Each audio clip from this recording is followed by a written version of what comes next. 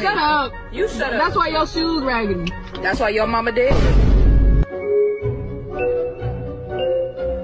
You're just like me, yes I can see we take responsibility. Why are you crying? I don't have it. You don't have it. I don't have it. I don't have it.